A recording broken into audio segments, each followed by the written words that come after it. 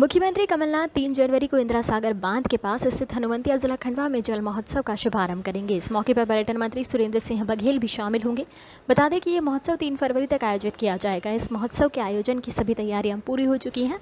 पर्यटन सचिव श्री फैज़ अहमद किदवई ने बताया कि एक माह तक चलने वाले इस आयोजन में पर्यटकों के लिए 104 लग्जरी टेंट सिटी का अस्थायी निर्माण किया गया है।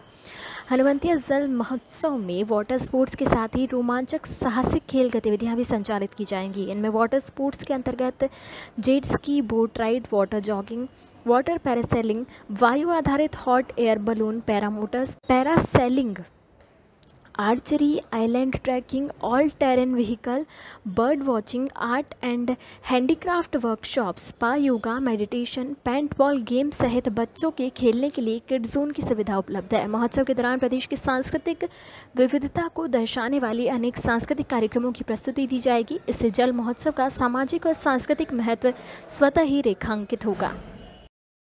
Subscribe our channel and press the bell icon for more updates.